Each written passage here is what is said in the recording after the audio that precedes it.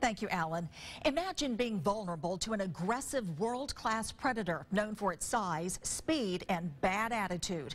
Tonight, I have an amazing story of a Gulf Coast diver. He found himself in a potentially deadly situation 70 miles south of Perdido Pass.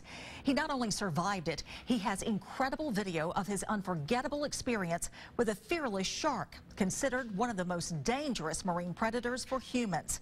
It's a story you'll see only on News 5. The blue waters of the Gulf of Mexico are exquisite. Look at the scar. You see the scarring on the side?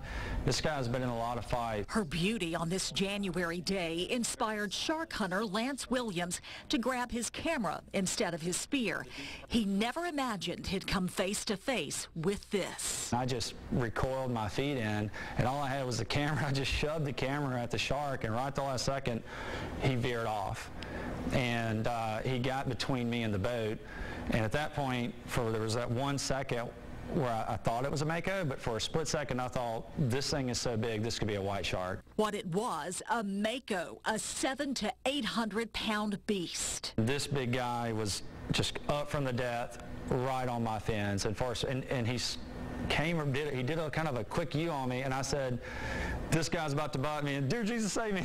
and uh, and then he and then he did. He just he curved around, and and that's when I was able to come up and yell, send me a gun. You guys got to send me a gun. His buddy threw him a gun, but Lance didn't catch it. I look behind me and the gun is just sinking off into nothing. The shark is here between me and the boat. I just made the call to go for the gun. I dove down and as I began my descent and abandoned the surface to get the gun, I saw the, the big shark angling in on me and I just kicked as hard as I could. I got the gun. At the last second, I was able to, to, to extend and, and, keep the shark off of me. And at that point, uh, everything just got really cool. You know, the shark started working with us. We were swimming. Lance made it back on the boat, but he couldn't resist going back in to rendezvous with a massive creature. I just jumped in, jumped right on top of him. The Mako, very docile, allowed Lance to touch him and divers to get this amazing footage. But that changed when they decided to feed him a 40-inch barracuda. I'd been eye to eye with this shark for approximately 20 minutes, just looking him dead in the eye as he would come by me and just watching his eye move as he would pass. And it was like we had an understanding. At that point, he had a different look. And so I just had a sense that he's going to take a shot at me. And as he came in and turned, I just extended the gun. Instead of touching with my hand, and I just gave him the little pat, the warning pat.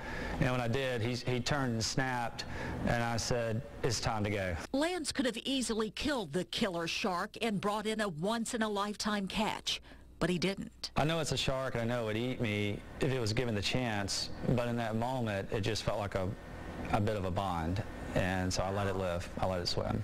A lot of folks have given Lance grief for not bringing in this man-eating Mako. But as you heard him say, he bonded with this majestic creature.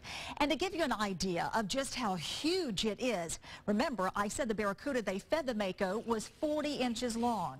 This is 40 inches. If Lance gets another chance, he doesn't promise that he'll let him go next time.